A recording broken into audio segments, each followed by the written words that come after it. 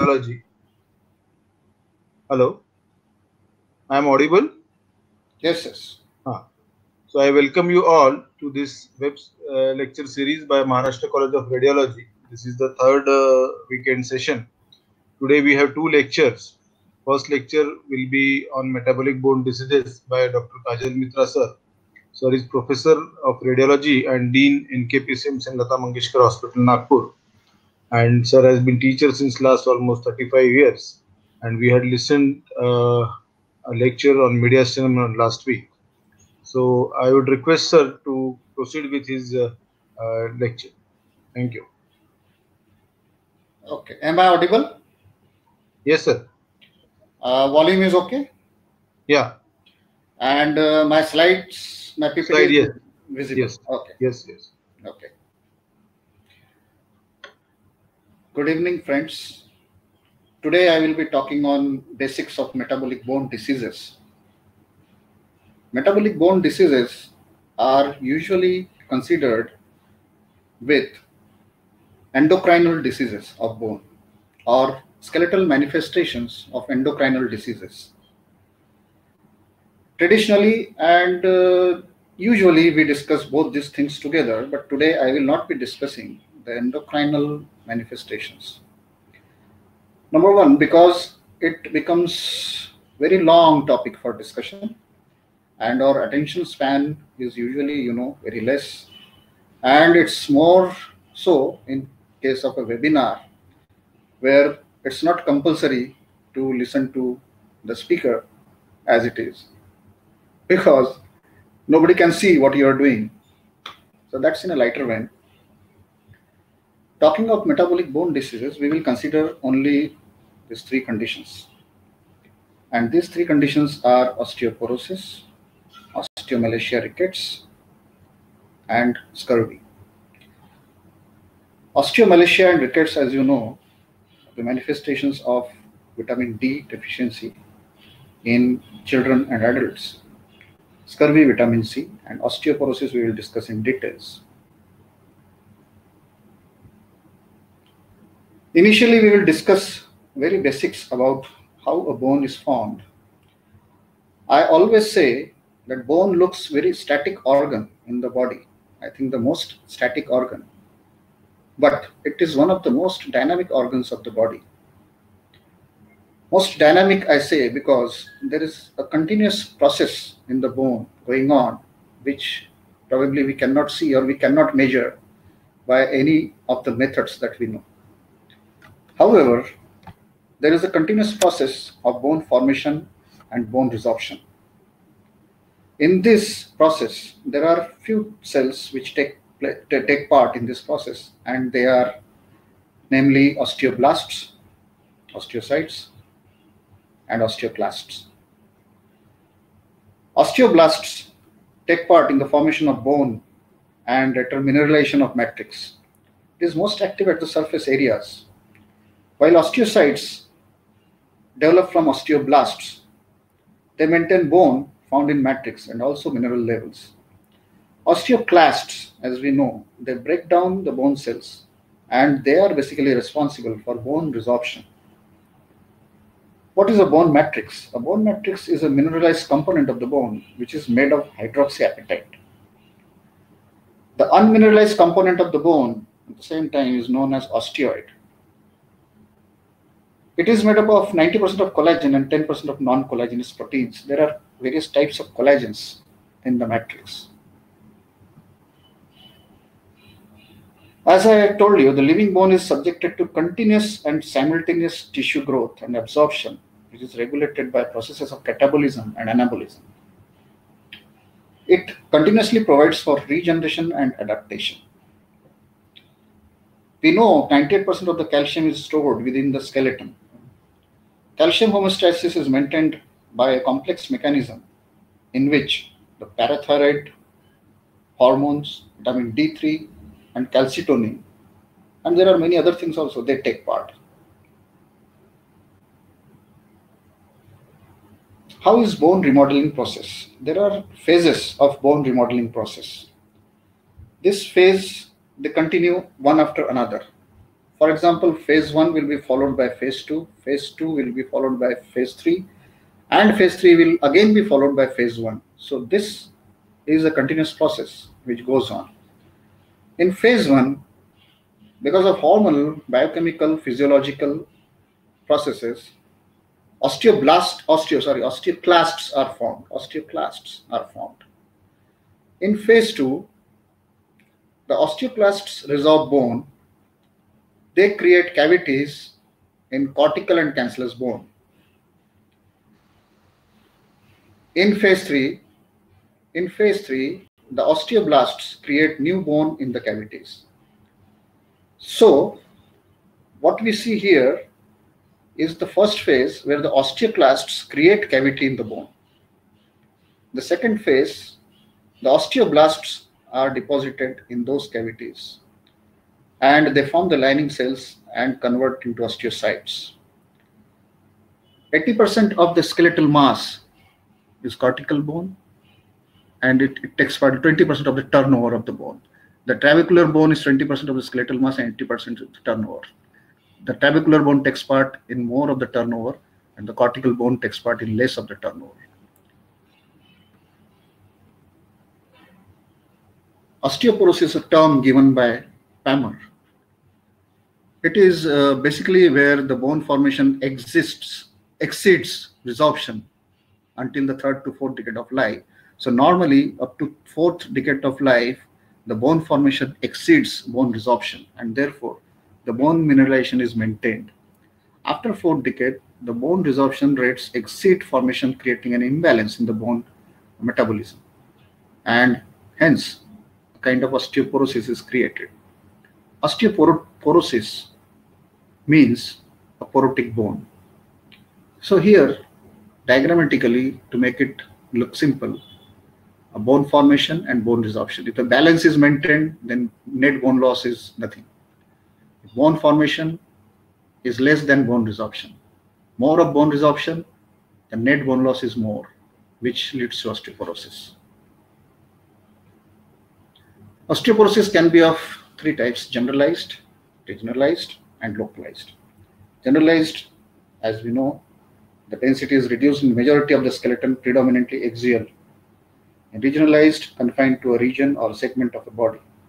Localized is, of course, focal loss.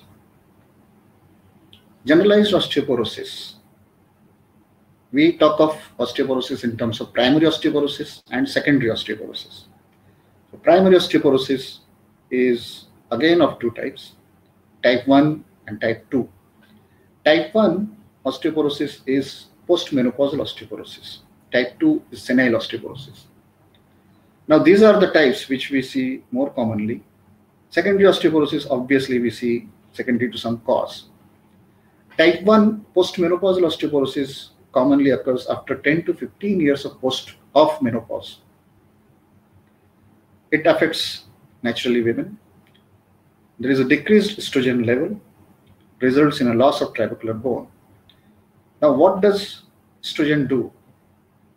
Decreased estrogen level proliferates formation of osteoclasts, as well as they lead to longevity of the osteoclasts. So these two mechanisms cause loss of trabecular bone and leads to accelerated bone loss, which leads to osteoporosis. In type 2, that is senile, it occurs in both men and women. It is most common after the age of 70 years. The causes can be nutritional deficiency or lack of physical activity, it results in a loss of trabecular and cortical bone both, and it is a non-accelerated bone loss. Secondary osteoporosis, as we said, it occurs after some cause, where, where there is some cause, and there, as an example, I can say that after prolonged use of steroids, one can have osteoporosis. So this will be secondary osteoporosis. There is a whole list of causes which can involve, which can uh, lead to osteoporosis. Now these are the causes which can lead to osteoporosis, apart from senile and metabolic. Endocrinal disorders. Apart from postmenopausal, there can be hypogonadism, Cushing's, hyperthyroidism, hyperparathyroidism, prolactinemia, hypercalcemia, vitamin D deficiency, chronic liver disease, gastrectomy. Medication, steroid is very important because steroid is commonly used in many diseases, as we know. So more of steroid, the longer the duration can lead to osteoporosis apart from other bone changes. In this list, we can see there is a malignant condition, which is very important condition, which is multiple myeloma. And multiple myeloma can only present with osteoporosis. So this fact has to be kept in mind as there is a whole gamut of radiological presentation of multiple myeloma right from normal bone. So multiple myeloma can present only with normal bone or it can present with osteoporosis, only osteoporosis. Apart from, you know, the other common things like punched out lesions and, and there are, you know, so many things, including sclerotic changes, less than 2% of cases. So one has to keep this in mind. Then there can be uh, lymphoma also, which can which can have at times osteoporosis. This is a very typical picture of osteoporosis, wherein here you can see there is overall decreased mineralization, that is a qualitative appearance. Here, where we are not talking of quantitative appearance. So it's a qualitative appearance where we have decreased mineralization and obviously there is a fracture here, which you can see, which leads to fractures you see, usually the usual clinical picture is an old man or a woman, they fall down, have a trivial trauma, and they sustain fracture, out of which Colles is obviously very common, and another common fracture is fracture neck femur. These two things in old age incapacitates a person. Although the healing we say is not compromised in osteoporosis. Here in axial skeleton, you can see in vertebrae, there is a loss of mineralization. The end plates become very prominent because the body becomes less dense. So this is a typical picture. We will see it in details later on. This is another picture of pelvis where you can see osteoporosis presenting with striking features. Now there are certain striking features in pelvis which we will see later on in details.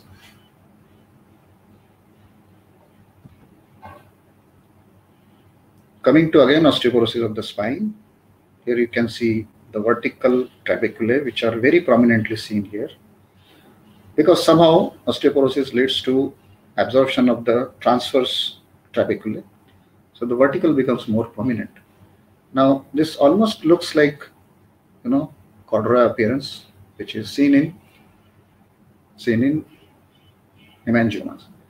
But we can differentiate from hemangioma from this condition, as this involves multiple segments, multiple uh, spinal segments, while hemangioma may involve maybe one or two, or maybe little uh, more in some cases.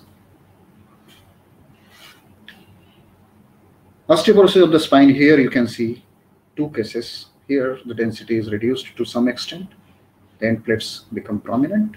This is a very important sign which has not been given so much of importance, but I think this is a very important sign but the end plates become almost sclerotic. Although it is not sclerotic, but it seems sclerotic because of the loss of mineralization of the body. As it progresses gradually, you can see it loses its density completely. It becomes completely less dense and it becomes almost isodense with the surrounding soft tissue or even as less as gas. Curvature changes are seen very commonly in osteoporosis. We have seen so many patients, old women, if you have seen uh, Pather Panchali. Pather Panchali is a famous movie by Satyajit Ray. So in Pather Panchali, it's a Apu's trilogy movie. You know, there are there are three movies in that.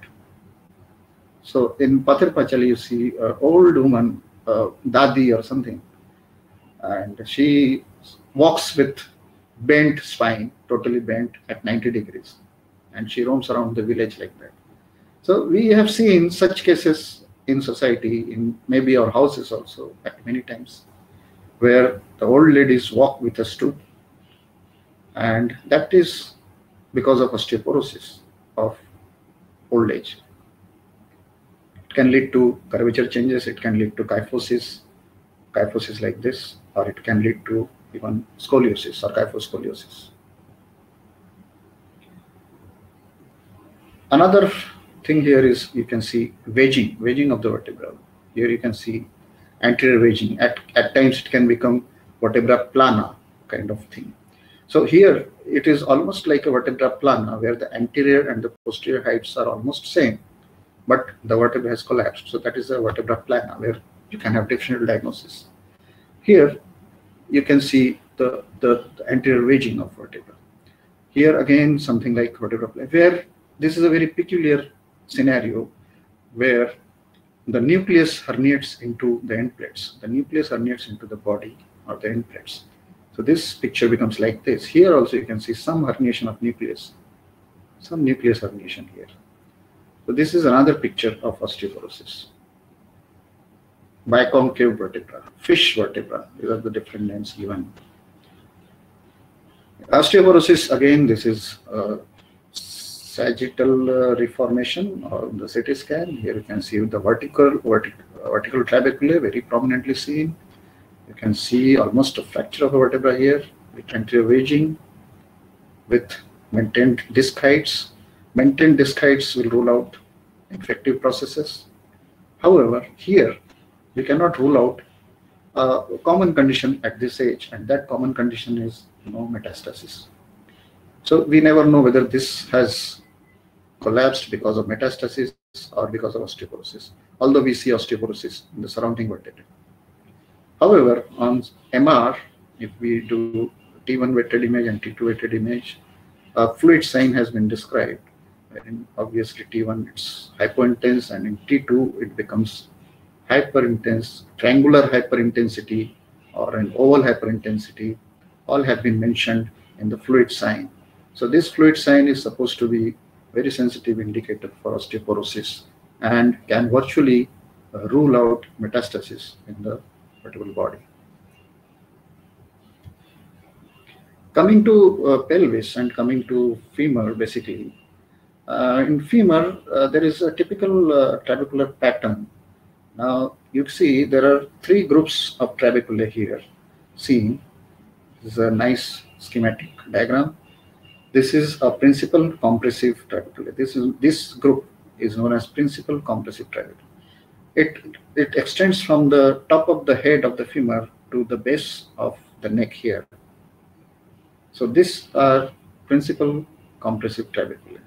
The second set of trabeculae are secondary compressive trabeculae, which extends from greater trochanter to lesser trochanter here. So this is secondary compressive trabeculae.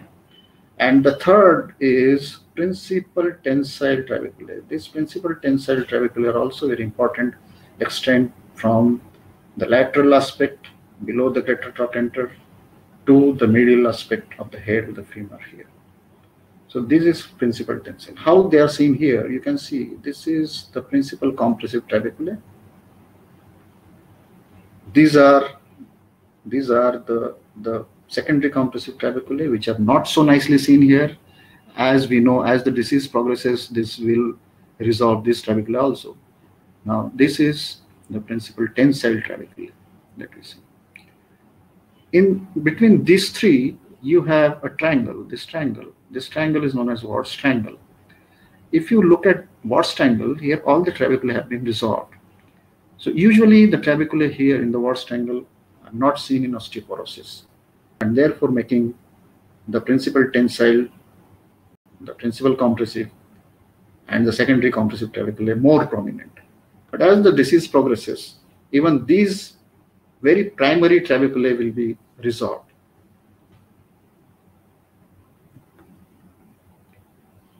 Coming to severe cases of osteoporosis, where you see fractures. You can see here the fracture neck. You can see the fracture neck and the trochanteric fracture. So various types of fractures can occur in the neck region. as I was talking about, this, this is a very common picture that we see. And uh, it's, it leads to various other complications in the patient as patient is old and becomes non-ambulatory suddenly and can lead to various complications leading to the death.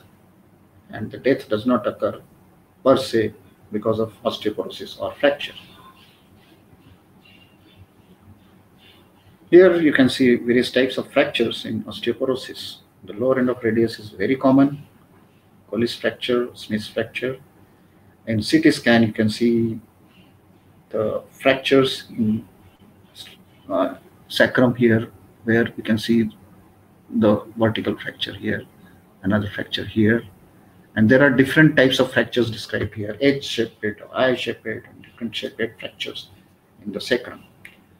In MR, obviously, is a T1 weighted image where you see hypointensity laterally in the sacrum. So this is actually insufficiency, sacral insufficiency, which is seen in osteoporosis. The regionalized osteoporosis can be, there are two definite uh, kinds of syndromes here, which is described. There's reflex sympathetic dystrophy syndrome. Uh, this occurs typically in middle-aged or elderly men where there can be a fracture proximally. Proximally, there can be a fracture somewhere, and distally, the patient can have a painful osteoporotic bones, which occur mostly in the in the metaphyseal regions, but later on can extend into whole of the skeleton. So this is a reflex sympathetic dystrophy syndrome. A post-traumatic bone disorder where there is there can be acute painful osteoporosis. As we all know, if we immobilize a part of the limb because of fracture, there can be disuse atrophy because of osteoporosis and which leads to osteoporosis, which leads to osteoporosis. Now, this osteoporosis is known as disuse osteoporosis or disuse atrophy. Immobilization can be because of fracture, which has been immobilized, or it can be because of uh, patient's condition. Say patient is a hemiparetic or patient is a quadriparetic.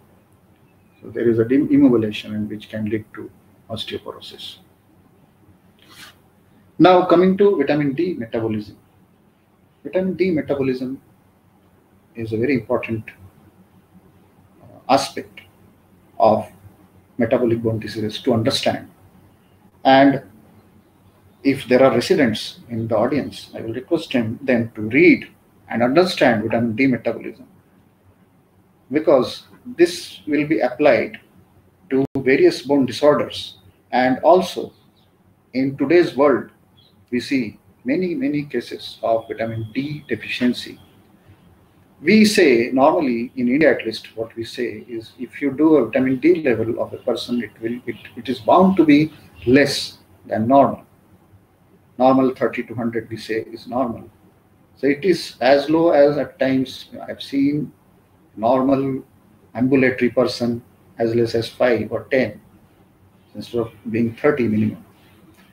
And obviously this leads to many, many complications. It's not only related to bone. Nowadays they have found role of vitamin D in almost all of bodily functions. So it's not only the bone it affects. This is a diagram which I found very useful. If you remember this diagram, then probably you will remember vitamin D metabolism very well. Vitamin D comes from two sources. One is from the skin and second is from the diet. Now it's very interesting phenomena how we manufacture vitamin D in our own skin. Uh, what happens is with the ultra, ultraviolet rays of the sunlight, we have formation of cholecalciferol in under the skin from cholesterol. So cholesterol is a very important primary ingredient in formation of vitamin D. So from cholesterol, cholecalciferol is formed under the skin after exposure to sunlight. This cholecalciferol is hydroxylized in liver to 25 hydroxycholecalciferol. So this is single hydroxylation takes place in liver. So it forms 25 hydroxycholecalciferol. Hydroxycholecalciferol is converted into 125 dihydroxycholecalciferol in kidneys. So second hydroxylation takes place in kidney. So first hydroxylation in liver into 25 hydroxycholecalciferol, second hydroxylation in kidney into 125 dihydroxycholecalciferol. 125 dihydroxycholecalciferol is the active ingredient of vitamin D. So this then acts on various organs of the body. It will act on the gut. It acts on the gut and increases calcium absorption and also phosphate absorption. It's, it increases calcium resorption in kidney. So it increases absorption in the gut, it increases resorption in the kidney. So both these mechanisms mechanisms increase calcium level of the blood. There is a role of parathyroid hormone here. The parathyroid hormone works on the skeleton. It increases skeletal turnover and calcium export and increases blood calcium level. Vitamin D directly effect, affects the bone also in calcification process. Calcitonin acts differently. Calcitonin inhibits osteoclast resorption and thereby lowers calcium and phosphate.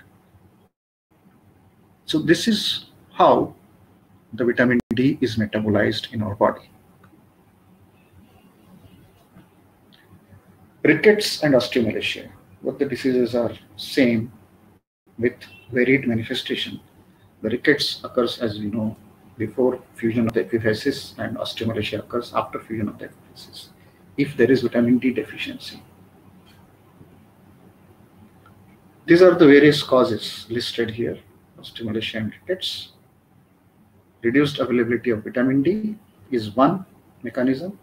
Second is defective metabolism of vitamin D. There can be receptor defects and or altered phosphate homeostasis. So reduced availability of vitamin D can be because of dietary deficiency, elderly individuals with minimal sun exposure. I contest this point. Now everyone has minimal sun exposure, not only elderly individuals. We hardly go out in sun as we do we used to do previously. We used to play in the sun or walk in the sun. Now everything has gone. So all of us are equally vulnerable for vitamin D deficiency. Dark skin and the skin covering when one goes outside has been also implicated in the causative factors. The fat malabsorption syndromes, kidney failure, CKDs, malabsorption, celiac, and other, other reasons of malabsorption syndromes. Defective metabolism of vitamin D can occur in chronic renal failure. That is becoming more common nowadays. So in chronic renal failure, we see a different presentation of the, the skeletal manifestation. That's a, a separate group as it is. Then liver failure, obviously the first head hydroxylation takes place in liver. So any, any cause of any cause which leads to liver failure will cause vitamin D deficiency as CKD. So second hydroxylation, as I told you, takes place in kidney. So these are the two main organs where hydroxylation of vitamin D takes place into, into its active form, that is 125 dihydroxycholecalciferol. So anything any disease causing chronic renal failure, any disease causing liver failure can cause vitamin D deficiency. Anticonvulsants have been implicated in this.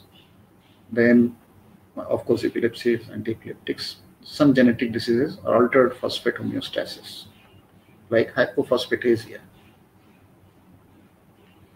Coming to rickets, it mostly affects uh, 6 to 12 months of age. The skeletal effects are due to lack of calcification. Most obvious changes are at metaphysis because that is the area where the most of the growth is taking place. The growth plate cartilage hypertrophy with failure of mineral. This is important to understand. The matrix is formed, although it's hypertrophic matrix, with failure of mineralization. There is absence of calcified zone of provisional calcification.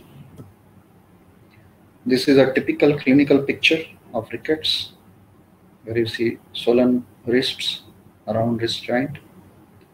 And this is the typical picture of rickets. Remember this picture. If you see this, this is rickets, nothing else. You see metaphyseal widening, metaphyseal fraying. This is a frayed metaphysis and widened metaphysis. And the growth plate is widened. This is the growth plate, growth plate, which is widened. So this is a very, very typical picture. Rickets again, deformities. Rickets is one of those diseases where the bone is softened. Apart from uh, there are certain other diseases which cause softening of the bone. So rickets causes softening of the bone leading to deformities of the bone. Nowadays, we do not see many patients, obviously, with improved healthcare in India. But previously, we used to see so many deformities caused by rickets in the childhood. You See, these kinds of deformities, severe deformities can be seen in rickets. Rickets and osteomalacia both are bone softening diseases, so they can also lead to certain other things like basilar invagination, which I'm, I'm not covering here. So this is that is one of the manifestations of now bone softening disease, rickets or osteomalacia. Here you can see the widened anterior ends of ribs. The anterior ends of ribs are widened. How that will be seen clinically is like this, which we call as rachitic rosary. Looks like a rosary, you know, those beads, beads for chanting, chanting mantras or anything. So those beads of rachitic rosary. So it's known as rachitic rosary. Widened anterior ends of the ribs. What happens to rickets with treatment? As you can see from previous pictures, what is the difference? You see a white line here, dense line, the end of the metaphysis here, at the zone of provisional calcification. So this is what happens after treatment. And obviously the mineralization will improve after some time. A dense line, dense metaphyseal band here. Coming to the adult counterpart of rickets, that is osteomalacia. This is known as rickets of adulthood, or also means soft bones, as I was talking about. Osteomalacia literally means malachic bone, which is soft bones. This is because of inadequate and delayed mineralization of osteoid in mature, compact, and spongy bone. There is a lack of calcium deposition in the osteoid, as it is in rickets. However, here the epiphyses are fused, so the manifestation will be different. Obviously, these conditions lead to decreased bone strength because there is an increased uncalcified osteoid tissue. Osteomalacia, decreased mineralization all over. You can see incomplete fractures here, pseudo fractures, also known as Looser zones. Obviously here you can see the Ward's triangle becoming more and more prominent, the primary trabeculae becoming more prominent. You can see the vertebral compression here, almost affecting all of the whole of the vertebral column, hardly sparing any any vertebra here. This is obviously because of bone softening. Looser's zone, as I was talking about, this is a, a very famous book picture which uh, in which uh, the, the authors studied uh, hundreds of cases of osteomalacia. And they pointed out in which region the osteomalacia the Looser zone are commonly seen. So out of the total number 131 Looser zone were seen in the ribs so ribs are the most common place where Looser zone are seen followed by around pelvis. See around pelvis is common. Then 14 cases here in the forearm, few cases here, very few cases also in the uh, upper uh, appendicular skeleton. So ribs and pelvis, these are the commonest uh, bones where you can see Looser zone. Here, as we saw in the earlier picture, Looser zone incomplete. In the first, in the beginning, it is not so distinct, but when the ends become little sclerotic, it becomes very distinct. Here again, you can see a big, big pathological fracture or Looser's Looser zone versus pathological fracture. Obviously, this can be a differential diagnosis. So Looser zones are not complete. Pathological fractures are usually complete fractures and they occur in some primary pathology in the bone which is present. So as we saw around pelvis, not such a good picture here. You can see lack of mineralization. Coming to the third condition that is scurvy. Scurvy historically affected sailors and pirates from where it originated and it was recognized in sailors and pirates. Hippocrates called it ileos hematitis. He described it as a disease where mouth feels bad, gums are detached from teeth, blood runs from nostrils, ulcerations on legs, some of which heal, skin is thin. So this is how he described scurvy in that time. Scurvy was not known. In 1700, sometime in 18th century, James Lind of Royal Navy, he could correlate that lemon and orange consumption leads to remission of this disease. They did not know about the disease or the causative factor or anything, but they observed that consumption of lemon and oranges led to remission of this disease. It was as late as 1927 when the structure of ascorbic acid or vitamin C was described first and it was manufactured in the laboratory for the first time in 1927. And since then, we know that vitamin C plays a major role in causing scurvy. Hypovitaminosis C affects mainly infants fed only on pasteurized milk, pasteurized cow's milk. The age group is 18, 8 to 14 months. The features there can be depressed intracellular substance formation in connective tissue and bone, especially collagen type 4 is affected. This picture is very, very typical showing explaining diagrammatically all the features of scurvy. Dear residents, believe me, some examiners are very fond of asking you all the signs of scurvy. And you should know these signs by heart. In scurvy, you can see ring epiphysis. Ring epiphysis means epiphysis, the margins are very nicely seen as sclerotic rim and the center of the epiphysis is demineralized totally. So you see only a ring in the epiphysis. So this is known as ring epiphysis or Wimberger's sign or Wimberger's ring. So remember Wimberger's epiphysis. You remember like this. Wimberger's epiphysis means ring epiphysis. At the same time, what they have described is a dense zone of provisional calcification. Here, this is the area of provisional calcification where you see a dense zone and this zone is known as white line of Frankel. So white line of Frankel is a dense provisional calcification zone. Below this zone, there are areas of rarefaction. You can see here the areas of rarefaction below the white line and these are known as Trümmerfeld zone or scorbutic zone. So these are Trümmerfeld or scorbutic zone below the dense zone. So below the white line of Frankel, there are Trümmerfeld zones or scorbutic zones. Then metaphysis is irregular. If you see the metaphysis, the end of the metaphysis is irregular.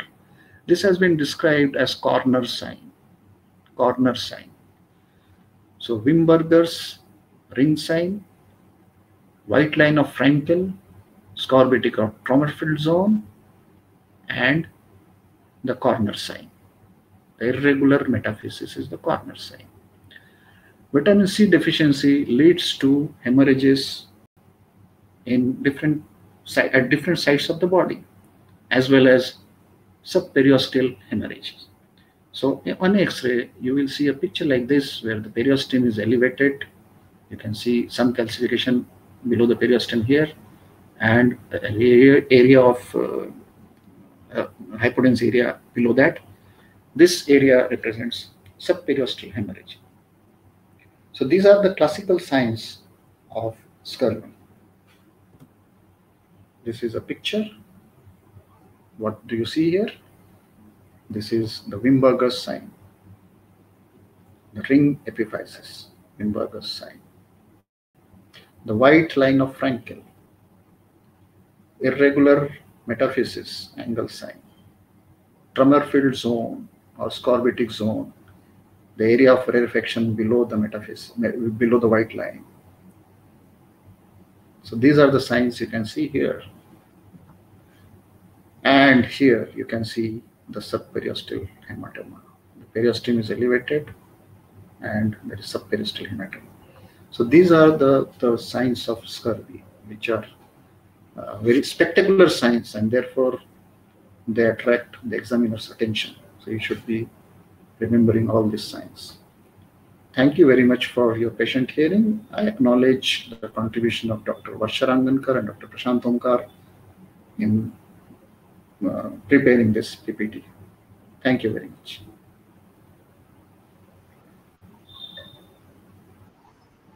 Thank you very much, sir, for the beautiful presentation. I think the basics uh, must have been clear by now.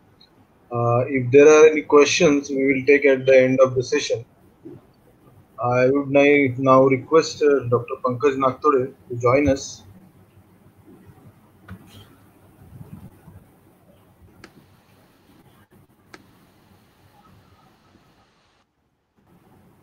Uh, good evening, Dr. Pankaj. Good evening, Prashant. Yeah, I welcome you in this web series by Maharashtra College of Radiology. And uh, uh, for everybody's information, Dr. Pankaj Nagtode is basically from Nagpur. He is alumni of GMC and IGMC Nagpur both. He had uh, transferred himself to a musculoskeletal radiologist and is presently lead musculoskeletal radiologist at Yorkshire Hospital and he has got a wide experience of doing the radiology rheumatology uh, meetings and um, we remember uh, his contribution in the last uh, British musculoskeletal radiology program we had done at Nagpur. Actually, we had planned one more program this year, but uh, due to this pandemic, I think we'll have to do it in 2021. And I'm sure Pankaj and his team would be uh, very much helpful in doing that. So I now uh, request Dr. Pankaj Nagtode to uh, start his deliberation on radiographic evaluation of inflammatory arthritis. Over to you. Thank Pankaj. you, Prashant. Uh, thanks for the introduction. Uh, hello, everyone. Thanks for joining the webinar today. Uh, I'm Dr. Pankaj Nagtode. I'm a consultant musculoskeletal radiologist at Yorkshire Hospitals NHS Trust, UK. Uh, at the outset, I'd like to thank uh, Dr. Prashant Omkar for giving me this opportunity to deliver this talk at, uh, at this webinar. It's a large topic uh, to encompass in an hour's time, but I've tried to stick to the basics, and I hope that there will be some take-home points at the end of this talk. Arthritis, defined by the Greenspan book, is inflammatory, infectious, degenerative, or metabolic disorder of the joints. The arthritis which we are going to focus on today are rheumatoid arthritis, seronegative arthritis, which include the spectrum of ankylosing spondylitis, psoriatic arthropathies, reactive, which earlier used to be called as Reiter's arthritis, and enteropathic arthritis. Uh, sorry, sorry to disturb, uh, Pankaj. Uh, you need to uh, share the screen. Oh, I think sorry. it is not that. Okay. At least I am not able to.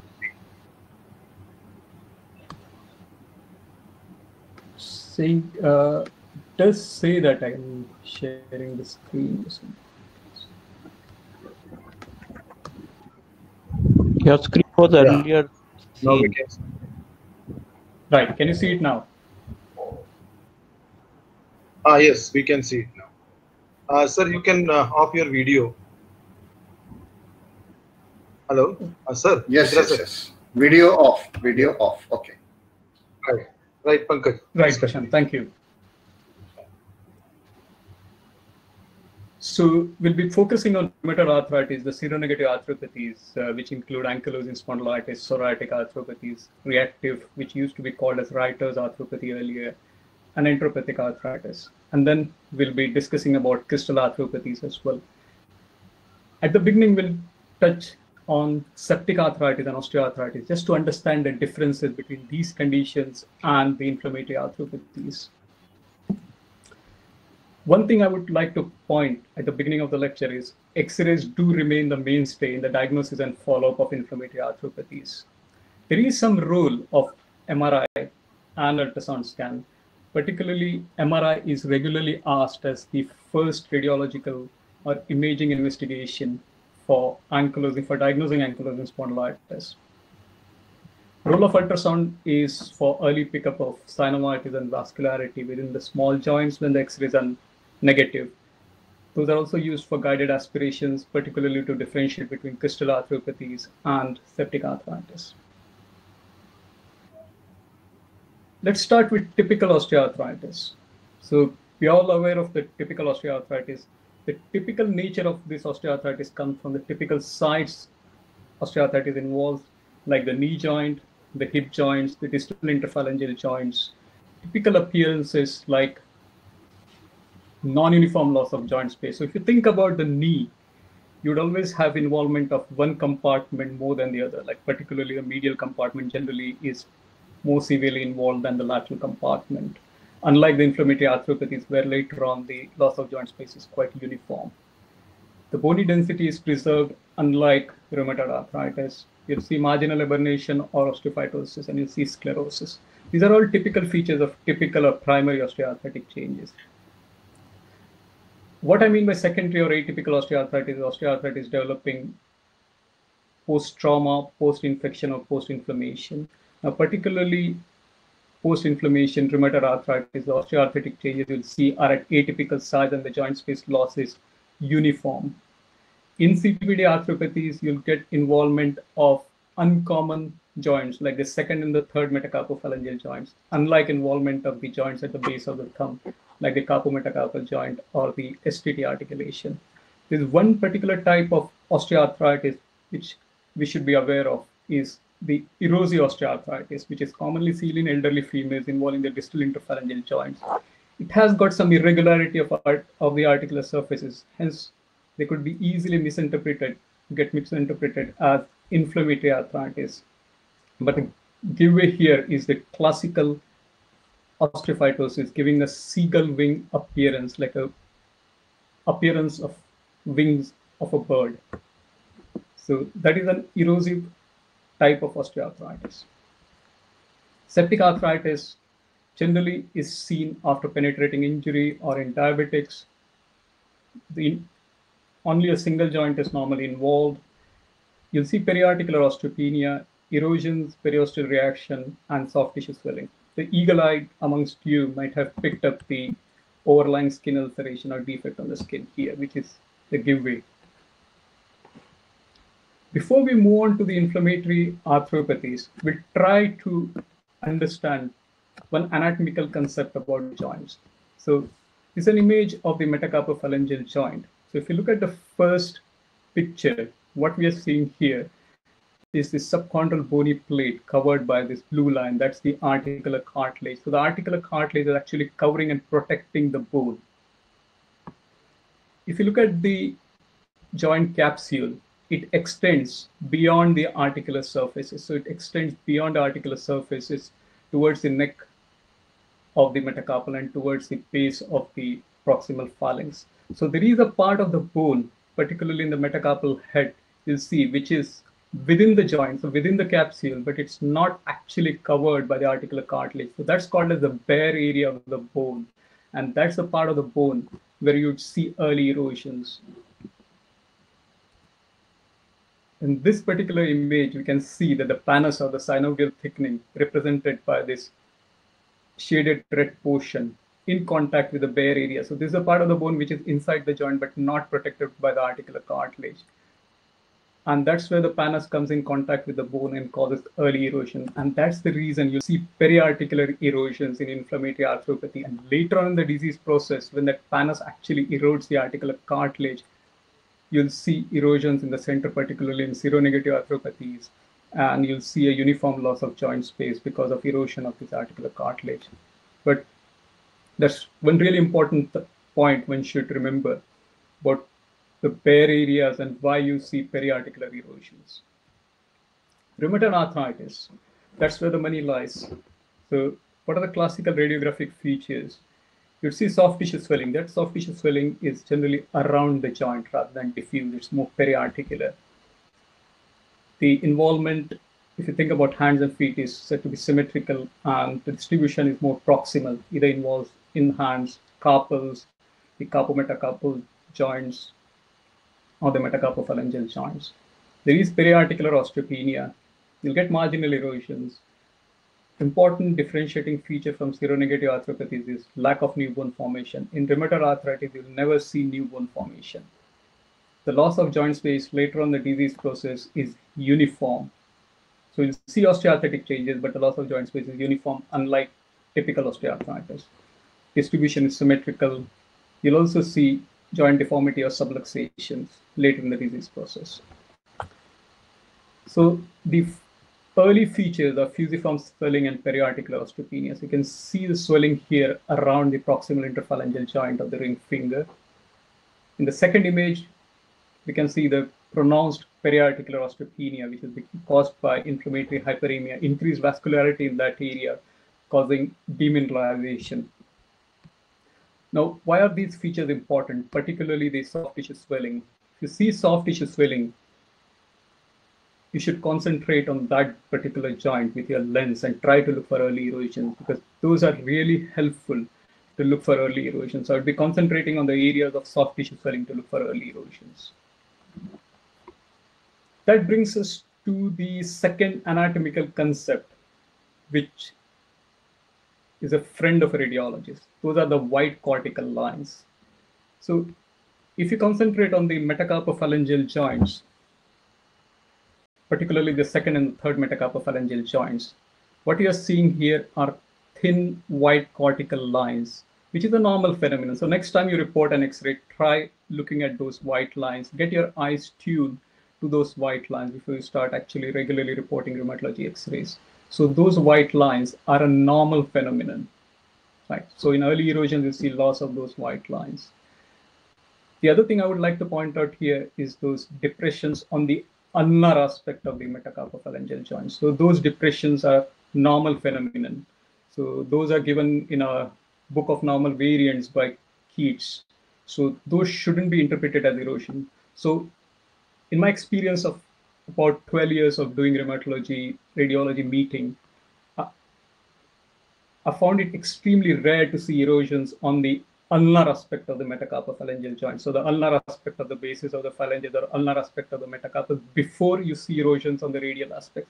So the first erosions always appear on the radial aspect where you'll see those normal thin white cortical lines. So I've marked this image for you to show those lines better.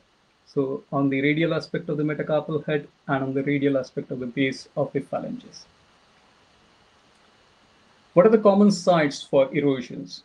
We already discussed about the radial aspects of the metacarpophalangeal joints, particularly two to four, four uh, metacarpal heads and two to four radial aspects of the bases of the phalanges.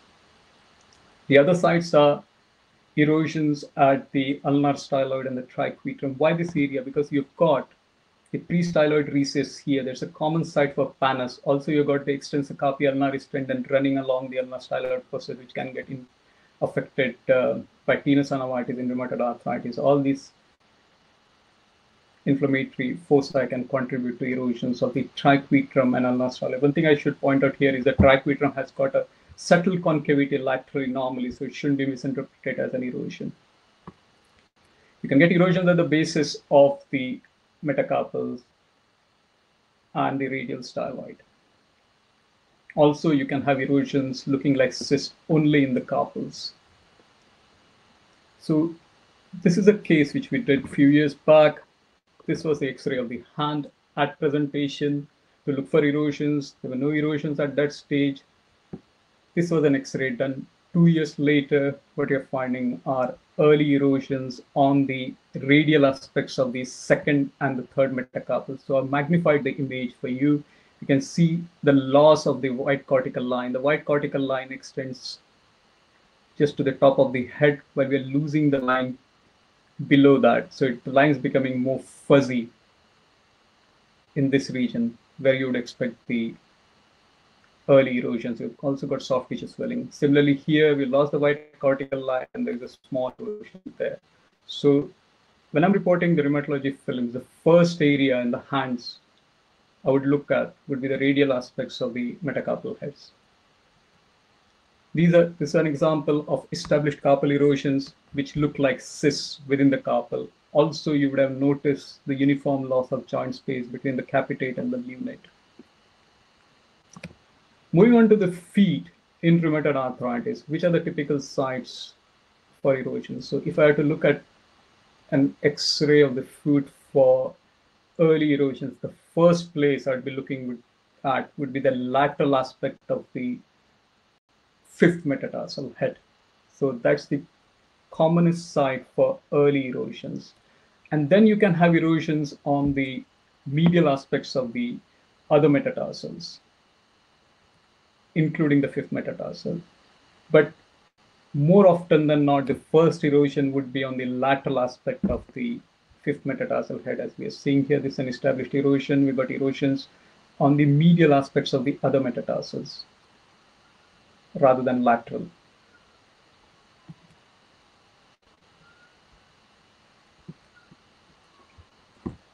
Another case, you can see early erosions. This was an X-ray presentation this is the fifth metatarsal. We can see the thin white cortical line. You can see that they lost that white cortical line. It's become more fuzzy, not as crisp as it was seen on the first radiograph. You can also see erosion developing on the medial aspect of the ring toe or the fourth metatarsal. This is later on when the erosion became more established. You can see a large defect on the lateral aspect of the fifth metatarsal and the case of more established erosions, lateral aspect and the medial aspect of the fifth metatarsal, and only the medial aspects of the second and the third metatarsals.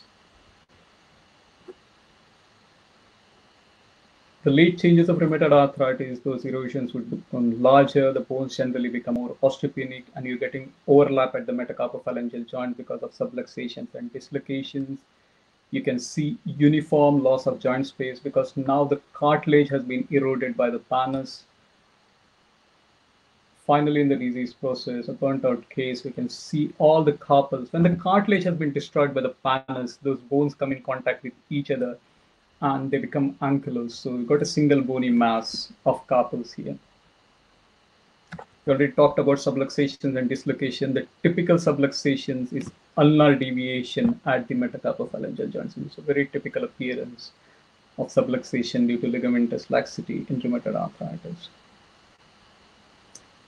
Moving on to the large joints, starting with the hip, you can see erosion at the superior aspect of the femoral head and the roof of the acetabulum we got uniform loss of joint space. How do you differentiate this loss of joint space from primary osteoarthritis?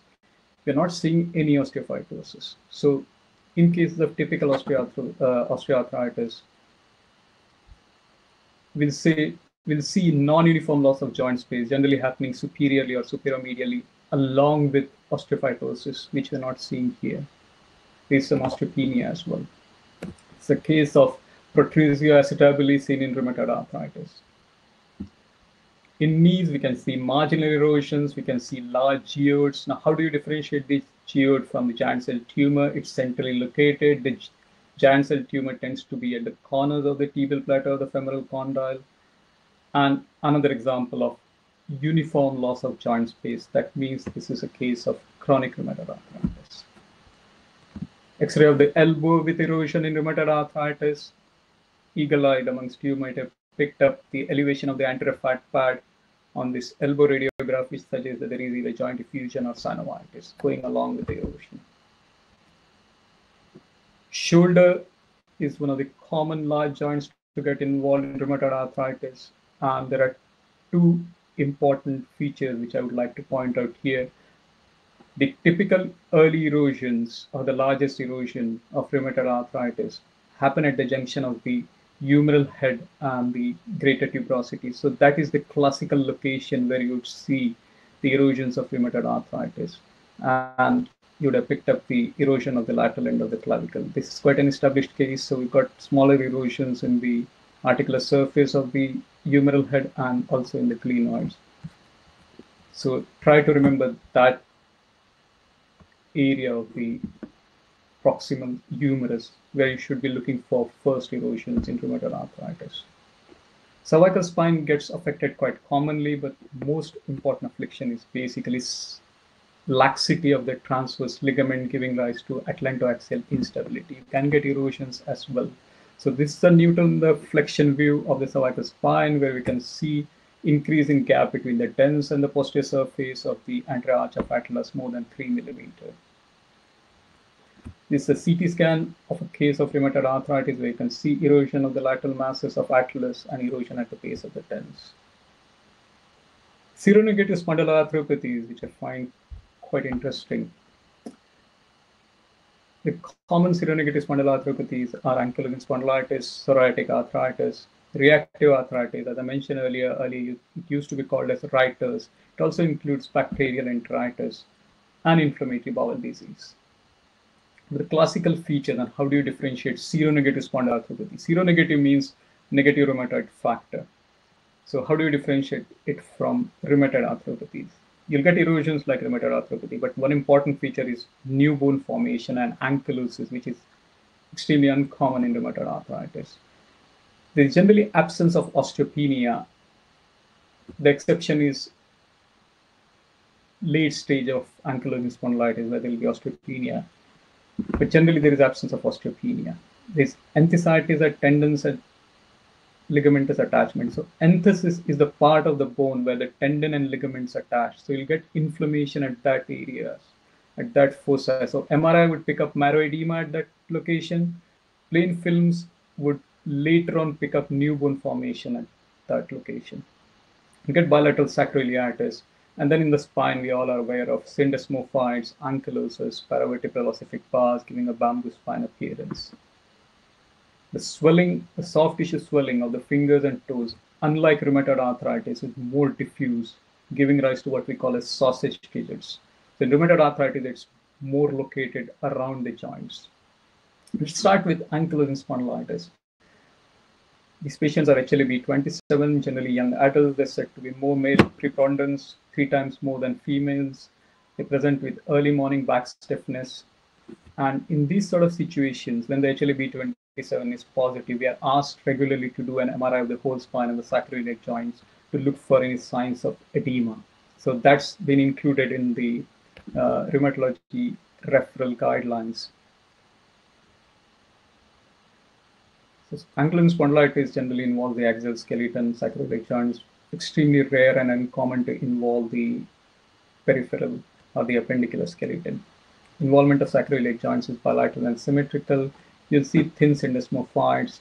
You're all aware of the shiny corners, also called as Romanus lesions, squaring of the vertebral body, and ankylosis. So we'll look at those signs in details. This is one arthropathy where MRI is asked without plain films. Every other arthropathy, it's the plain films or the X-rays which are asked for first. Syndesmophytes are ossific bars at the Sharpey's fibers, which are the peripheral fibers of the annulus fibrosus. So these are thin bony bars which are more vertically oriented, unlike the osteophytes, which are more horizontally oriented, and later on they can become vertical. involvement of the sacroiliac joint. So this gives us a chance to discuss about the anatomy of the sacroiliac joint and to understand it better. The sacroiliac joints have got two portions. The inferior or the anterior-inferior portion is the synovial portion, and the superior portion or the posterior-superior portion is the fibrous portion.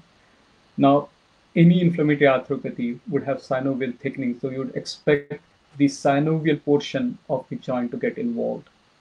And that's why you'll see the early edema in the anterior-inferior portion of the sacroiliac joints.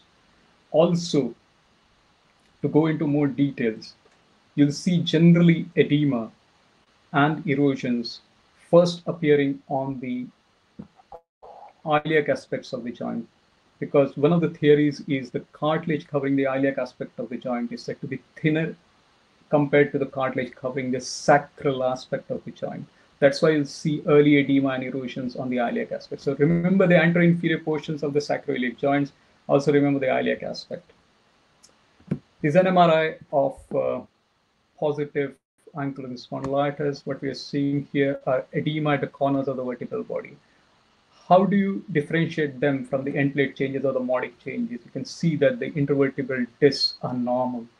So you shouldn't be getting any end plate stress changes or degenerative changes in the end plates. You're seeing edema at the corners of the vertebral body. So these changes happen much before the shiny corners, what you'd see on X-rays after sclerosis.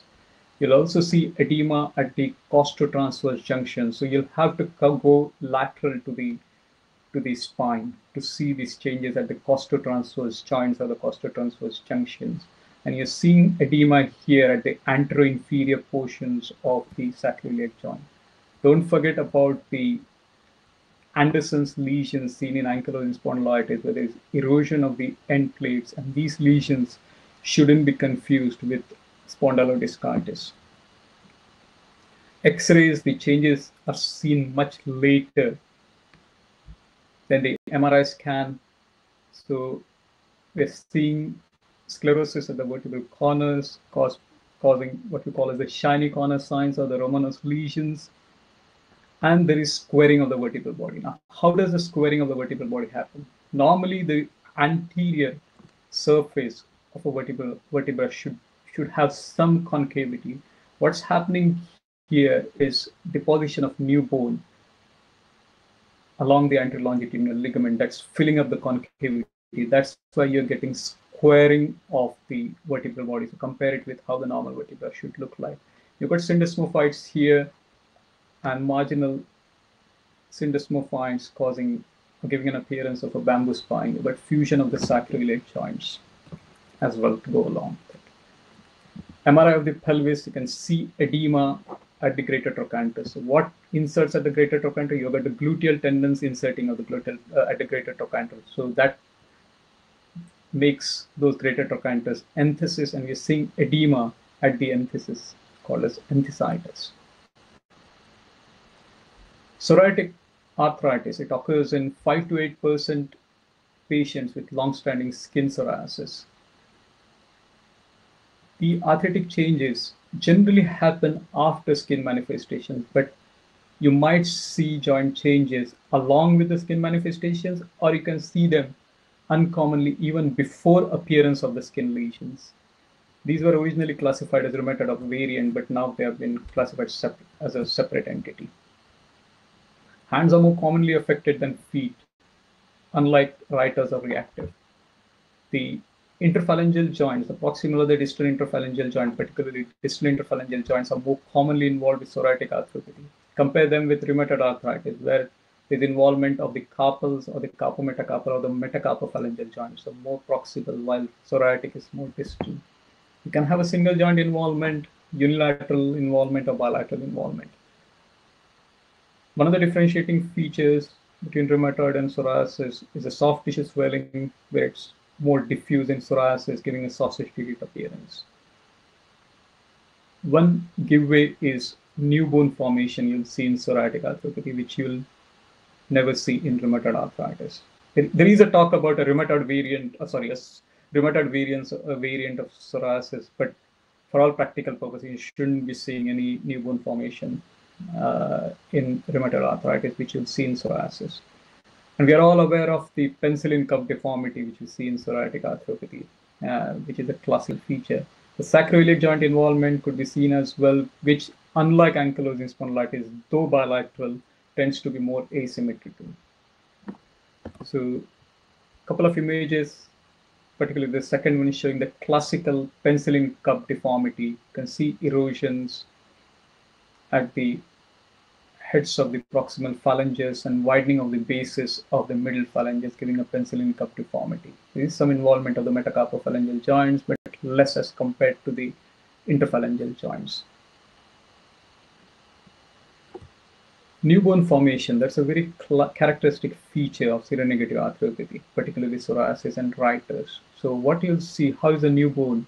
The new bone is wispy or brush border-like, fluffy, wispy, cotton wool. These are all sort of different synonyms given to the description of new bone formation seen in seronegative arthropathy. So again, like rheumatoid arthritis, which I pointed, you should concentrate on the area where you see soft tissue swelling. Similarly, in psoriasis as well, look for the digit which has got the sausage-like soft tissue swelling. Like in this case, we've got involvement of the middle finger. I can see that wispy new bone formation. Another thing I would like to point out is normally you do get a bit of flanges in the phalanges. So that's a normal variant. It shouldn't be confused with new bone formation. The new bone formation tends to be closer to the joint and it's more fluffy and soft. Involvement of sacroiliac joints, which is bilateral but asymmetrical, the right side getting more involved than the left in this case. Other examples of new bone formation, we can, first of all, I'd like to point out the diffusely swollen toe, compare it with the other toes and you can see new bone formation better seen at the terminal phalanx of the great toe. So this is, I've tried to demarcate the outline of a sausage digit. We magnified the image here to show the new bone formation and periosteitis. So normally the phalanges should have concave outline, the shaft of the phalanges. Now those are getting filled up with new bone formation and periosteal reaction, causing squaring of the phalanges here. Magnified the image of the terminal phalanx of the great toe to show the new bone formation. So this is that wispy new bone formation which you're talking about. Would have appreciated the diffusely swollen great toe as well. Now, if that new bone formation becomes florid and more extensive, that particular phalanx starts looking denser and gives an appearance of what we call as an ivory phalanx. Pencil-in-cup deformity in the feet. We already discussed about that, how there is sharpening of the metacarpal or the metatarsal head and widening of the base of the phalanx, giving a pencil-in-cup deformity. Magnified image of the same. Reactive arthritis earlier was called as Reiter's. It's either post-chlamydial infection or even happens even after bacterial enteritis. Many times the patient would be presenting with a swollen knee or swollen elbows. We get, do get asked to do MRIs of knees and elbows for that. The changes in Reiter's reactive arthritis are very similar to psoriasis, but the important feature is, distinguishing feature is the feet are more commonly involved uh, as compared to hands seen in psoriasis. This commonly single joint involvement, so one should be very careful and uh, always consider septic arthritis. Common things are common, septic arthritis is more common. So if there is a single joint involvement with signs of inflammation, you should consider septic arthritis first. Proximal interphalangeal joints are more commonly involved, unlike distal interphalangeal joints seen in psoriasis. But obviously there is an overlap you'll see involvement of interphalangeal joints in either of them. Enthesitis, as it is a feature of uh, seronegative arthropathy. Sacroiliac joints, like psoriasis, these involve bilateral involvement, but it tends to be more asymmetrical. More examples of fluffy new bone formation, wispy new bone formation, uh, but it involves feet more, and the and reactive arthritis tends to involve the interphalangeal joints of the great toe more. So it's got a preponderance for the great toe. You've got some enthesopathic changes in form of new bone formation. So it's not exactly spurring what we see with, uh, let's say, plantar fasciitis, but there is some wispy new bone formation at the attachment of the plantar fascia. This was a case where the patient presented with heel pain. We did an MRI. We're seeing just edema at the attachment of the Achilles tendon. So we got enthesopathic changes. If you had uh, done an X-ray at that stage, it would have been negative because the new bone formation would take some time, and if it treated, it would never happen. Uh, but MRI, do remember the fact that if you see edema at the enthesis, you should consider seronegative arthropathies, particularly edema at the insertion of the Achilles tendon. This was a case which we did few months back. He was a 32 year man, old man who presented with swollen little toe. Uh, the toe had all signs of inflammation, so the provisional diagnosis at that stage was osteomyelitis. We did an MRI scan. MRI scan showed involvement of the little toe. There was diffuse soft tissue edema, marrow edema between the uh, within the proximal and the terminal phalanges of the little toe. And if you look carefully in the magnified image, what we are seeing here is wispy new bone formation close to the joint surface. So that was a giveaway, and this patient was treated accordingly for uh, uh, with a with a diagnosis of uh, reactive arthropathy, and he responded well. This is one case I've taken out from my FRCR exam collection. This is an X-ray of the abdomen, and features what we're seeing here are post-cholecystectomy clips, evidence of previous bowel surgery, and the keen-eyed amongst you would have noticed that a patient has got bilateral sacroiliitis as well. So which is the condition which can explain all these three findings. And that condition is ulcerative colitis, inflammatory bowel disease, so ulcerative colitis or Crohn's disease. This was a case of ulcerative colitis. That brings us to enteropathic arthritis, which could be seen with ulcerative colitis or Crohn's disease. The features on MRI or CT are very similar to ankylosing spondylitis.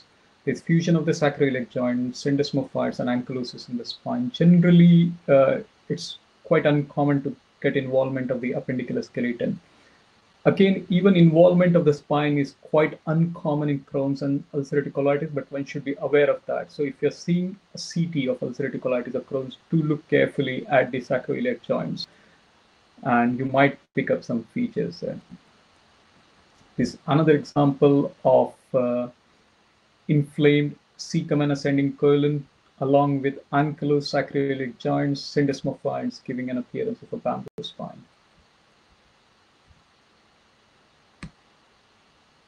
Let's move on to the crystal arthropathies. The commonest one is gout. There are two types of gouts, clinically acute and chronic tophaceous gout.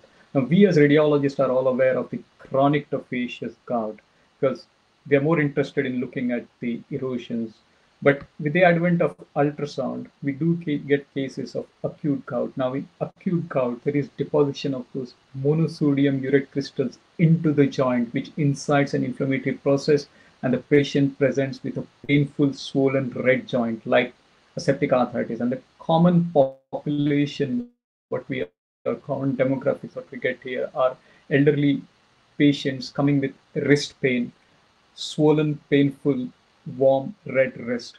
And clinically, the diagnosis is query septic arthritis or crystal arthropathy, which could be gout or pseudogout, that's CPPD. And we are asked to do ultrasound to look for any signs of effusion synovitis and do an aspiration for crystals or for culture. So that's the role of radiology, but it's the chronic gout where we would see the erosions, the juxta-articular erosions caused by the tophi, where the urate crystals or the monosodium urate crystals get deposited in the cartilage tendons or in the tophi adjacent to the joint. Those long-standing tophi cause erosions. How do you differentiate the erosions of gout from those of rheumatoid arthritis? These erosions are very sharply demarcated with classically overhanging margins, sclerotic rims, not associated with osteopenia and the joint space is generally preserved. These are generally larger and the commonest site of involvement is the metatarsophalangeal joint of the great toe, particularly on the medial aspect. So the first image is to show you the gouty tophus. It normally does look dense. It's uncommon to get those tophi, calcified. You can get calcification of tophi when there is associated renal failure. And got the second image with juxta-articular erosion. So the classical erosion with which is sharply demarcated with overhanging margins, sclerotic rim, involving the classical typical side that's the medial aspect of the metatarsal head. Not that you can't get erosions at other sides, we got more erosions at the metatarsophalangeal joint of the little toe, interosseous tophi as well. There's no osteopenia, the joint space is relatively preserved. Ultrasound, as I mentioned earlier, does have a role to look for synovitis, uh, joint effusion when the x-rays are not helpful. So this was a case where the patient presented with a swollen metatarsophalangeal joint. We did an ultrasound scan. What we're seeing here is a double contour sign. The inner contour is formed by the metatarsal head, while the outer contour, this is a cartilage in between the inner and the outer echogenic line. That's the cartilage. And the outer echogenic line is formed by the deposition of monosodium urate crystals on the surface of the cartilage. So if you see that double contour sign, you, you should think of uh, crystal arthropathies, commonly gout. Ultrasound can pick up erosions quite well. In fact, it can pick up erosions before X-rays. From time to time, you'll see tophi in the knee as well. And the commonest two locations for tophi in the knee are the popliteus notch and the patella tendon. So this is an example where you can see a normal looking popliteus notch fears down the line. That notch looks deeper and irregular and a MR, the notch is deeper. And you can see a focus of altered signals there at the attachment of the popliteus tendon. That was a gouty tophus. Even without this, the patient can just present with joint effusion and synovitis, and you have to think of inflammatory arthropathy, something like the crystal arthropathy. This was a case which we did a couple of weeks back. She was a 60 year old female who came with back pain and raised CRP. An MRI scan was rightly asked for. So what I've got here is a sagittal image of the lumbar spine, and it shows edema edema around multiple facet joints bilaterally, soft tissue edema, and there was joint effusion in the facet joints as well. This was reported by one of my neuroradiology colleagues, and rightly so. Common things being common, the, the possibility of septic arthritis involving facet joints was raised, but it's quite uncommon to have uh, involvement of multiple facet joints by septic arthritis, that too without uh, without an history of recent surgery. So this was reviewed by our musculoskeletal radiology team, and we decided before we do, we try to do a CT guided aspiration for culture, we'll do a CT for planning. And what that CT picked up were those well-defined erosions, well-defined erosions with some new bone formation around the facet joints. So we raised a possibility of gout, and the patient did have raised serum uric acid level and responded very well to the treatment of gout. Is another case the patient presented with a painful swollen foot, and uh, the provisional diagnosis was uh, diabetic osteomyelitis. When we did an MR, this is a T1 long axis image of the foot, we can see multiple lobulated hypointense lesions. And in the third metatarsal shaft and base, we can see that one of those lesions causing erosion. So those were gouty tophi. We did a we did an X-ray after the MR, and the X-ray classically shows those erosions and in fact interosseous erosion and pronounced involvement of the metatarsophalangeal joint of the great toe. So this was another example of gout. CPPD arthropathy or CPPD generally is very common and the commonest way in which we see CPPD in our regular practice is in form of chondrocalcinosis. It's the third commonest inflammatory arthropathy. You'll see deposition of crystals. That's a, those are the calcium pyrophosphate crystals in the hyaline cartilage or the fibrocartilage causing chondrocalcinosis. But like gout, in an acute form, those crystals can get deposited inside the joint, inside inflammatory reaction. The patient can present with painful swollen joint, differential is of septic arthritis. Because the presentation is very similar, it's also called a pseudo gout.